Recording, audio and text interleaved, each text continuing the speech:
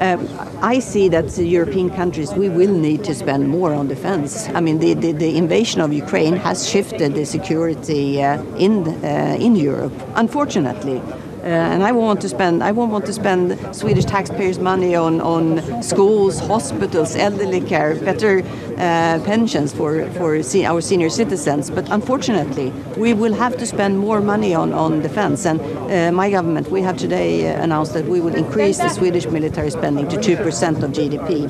We are right now. We have the last uh, since 2015, from 2015 to 2025. We have we are already planning to increase our defence spending with 85% up to 1.5% of GDP. But we say we will well, we want to continue to 2% of GDP and also see how fast we can do this. But if an EU army is on the table, would you hmm? What about an EU army? Is that the moment to build an EU army? I think I mean most EU members they are mem- most EU countries they are members of the European of NATO and they want to continue NATO as their uh, main defense alliance. At the same time, I have together with my Finnish colleagues sent a letter uh, to the the other. Uh, the other prime ministers and presidents to uh, just to remind us that we actually do have Article 42.7 in the uh, in the Lisbon, Lisbon Agreement, and uh, this is a timely um, point in time to um, remind ourselves of that. So far, what I've heard is a positive response.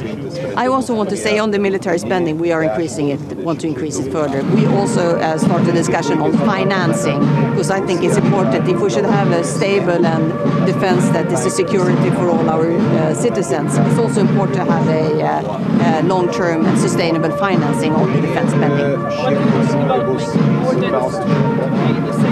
Be jokios abejonės Ukrainos požiūriu reikia ir pagalbos labai rimtos pagalbos, kurią mes jau pradedame teikti. Tai yra pirmiausia I think uh, there are always, uh, I've been the Minister of Finance for seven years. Uh, some countries also always find new arguments why they shouldn't pay for their expenses.